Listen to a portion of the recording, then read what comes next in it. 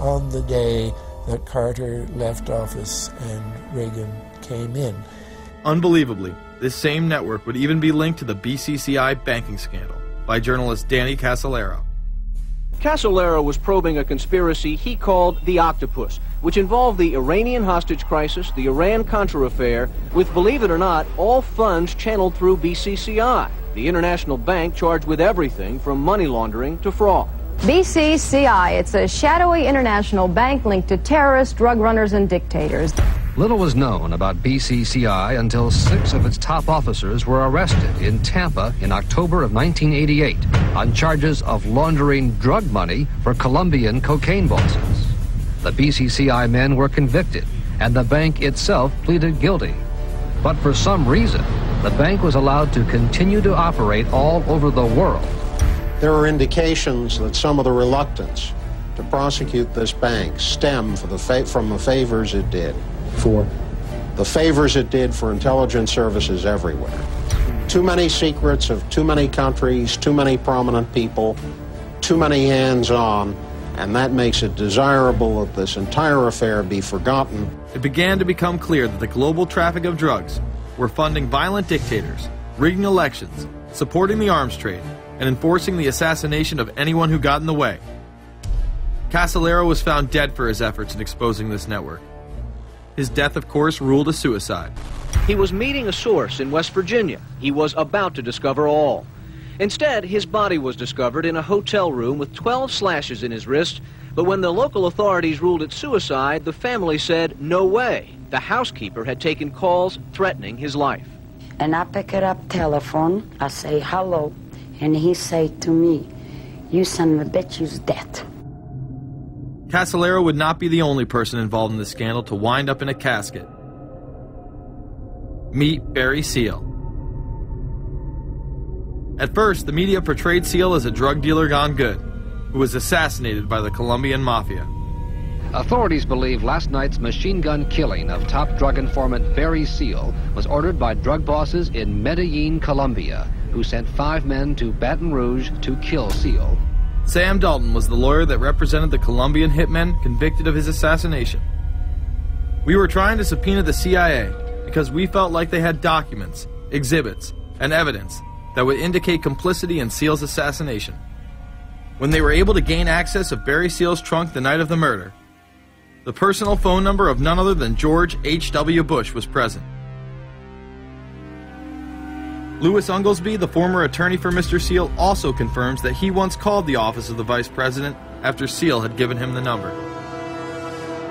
You see, the Black Ops drug smuggling operation had not yet been exposed, and intelligence couldn't take any chances. It was later revealed that Seal was involved in smuggling cocaine into Mena, Arkansas, while Bill Clinton sat as governor. 1983, Ronald Reagan was president, Bill Clinton was governor and little Mena, Arkansas, changed from a quiet town to a center for drug smuggling and reported Contra support activity. In the middle of it all, this man, admitted dope smuggler Barry Seal. Arkansas State Trooper Russell Welch investigated Seal's organization. Each trip would have uh, 250 to 350 pounds of cocaine. According to the London Telegraph, Arkansas State Trooper Larry Patterson testified under oath that he and his officers discussed repeatedly in Clinton's presence.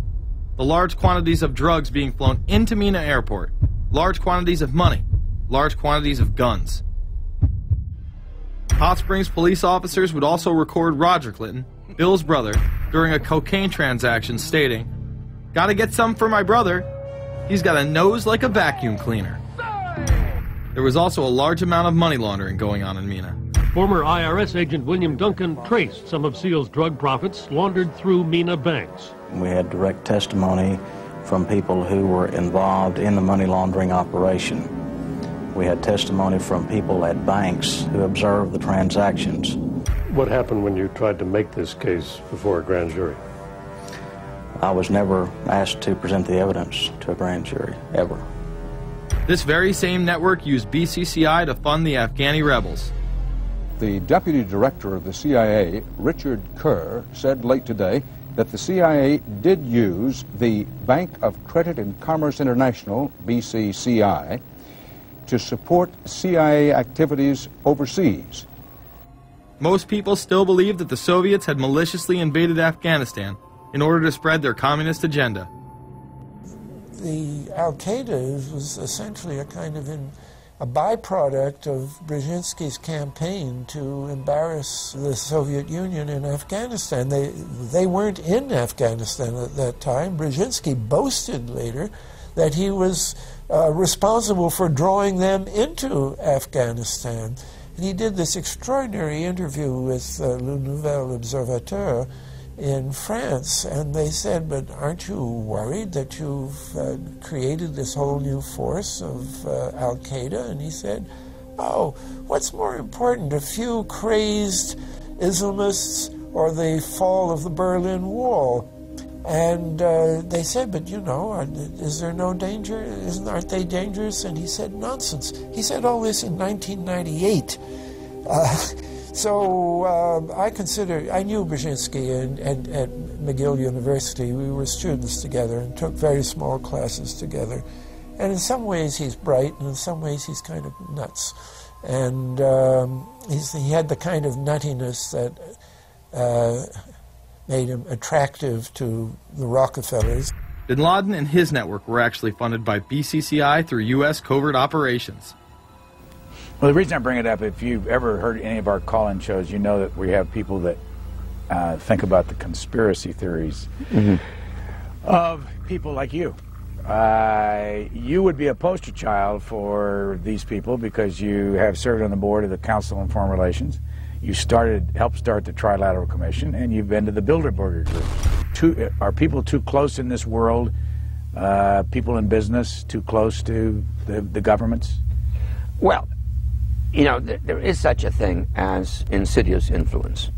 And the question is, how does it operate? Does it involve bribery? And does it involve some sort of psychological domination of individuals? I don't believe in this notion of some sort of secret societies controlling people. But of course, in any political system, there are sort of over the table and under the table arrangements. Arrangements that involved ruthless, illegal, and immoral activities in order to dominate humanity. Despite all of the evidence that has just been presented, this network would fall down the memory hole, even though 14 convictions were made in the Iran Contra scandal. The continued cover up would be made possible by George H.W. Bush. Uh, these documents that came forward in the North trial uh, clearly reveal the involvement of the vice president to a greater degree, I think, than he has acknowledged heretofore. This, of course, did not stop him from pardoning those involved during the twilight of his presidency. Some new reverberations today to President Bush's Christmas Eve surprise, the pardoning of former Defense Secretary Caspar Weinberger and several others in connection with the Iran Contra allegations. Well, now the special prosecutor says it's the president who needs to explain some things. The real issue is why the notes weren't produced five years ago when the congressional investigation and the independent counsel's investigation had requested them. Because high level political officials scrambled to limit the investigation and establish plausible deniability for the upper echelons of the network, including Bush himself. So, who is this guy? And how did he come to power? To understand that, we must first take a look at his father, Prescott. Prescott was born into privilege and became extremely influential in business, intelligence, and politics. He helped establish the CIA out of the Army's Office of Strategic Services with the Dulles brothers and served as a senator in the state of Connecticut. However, during his time serving as one of the directors of Union Banking Corporation, he was doing business with Nazis. The Bushes have been sort of at the heart of the military industrial complex since its very beginning, and that Prescott was involved in a firm that uh, actually fronted for Nazi firms uh, in America.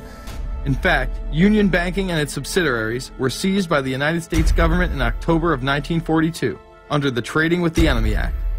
After the war, the assets were returned, a few fines were paid, and it was swept under the rug of forgotten history.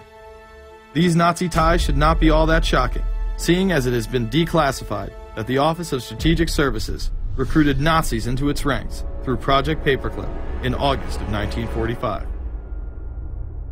George Bush seemed to follow in his father's footsteps, using Prescott's business connections to move to Texas and get into the oil.